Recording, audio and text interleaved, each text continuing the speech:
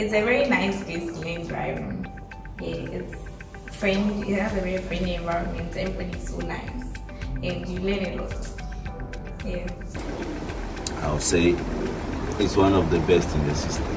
They have the right administrators, the right tutors, instructors, the structures in place is just perfect. Because me ankasa kra me ti obi ka bukra na drive because say ehun hmm.